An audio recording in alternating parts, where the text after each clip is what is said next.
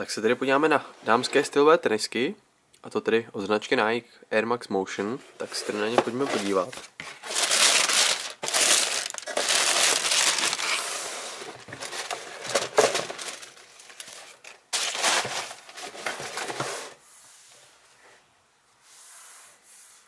Tak jak tedy vidíme, tak výrobce zde zvolil tedy toto šedobílé provedení s těmito zelenými doplňky. E, nicméně, co se týče materiálu, jedná se tedy o textil, gumu, polyester. Vzduchová bublina u Air Maxu, jak tedy známe, která tedy se postará o perfektní tlumení nárazů a tím tak šetří vaše klouby. Jinak tedy, e, jak už jsem zmiňoval, tak e, tyto boty jsou opravdu vyrobeny z velmi prodyšného a lehkého především materiálu.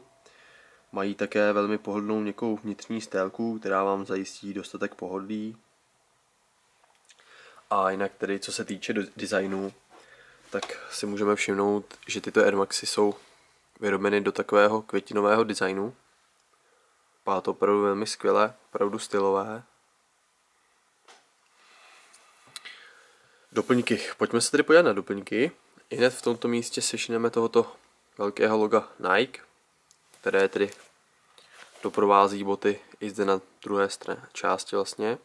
Vypadá to též opravdu skvělé. Na zadní části si šineme tohoto za prvé eh, tvrznějšího spevnění v oblasti pad a zde nesmí chybět ani velmi klasický stylový nápis s logem Nike Air. V zelené barvě, které tedy pokračuje i zde na vrchní části jazyka, též tedy v zeleném provedení.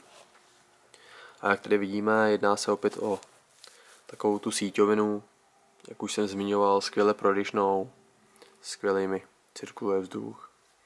Tak tedy nebudeme video dále zdržovat a pojďme si Air Maxi blíže představit.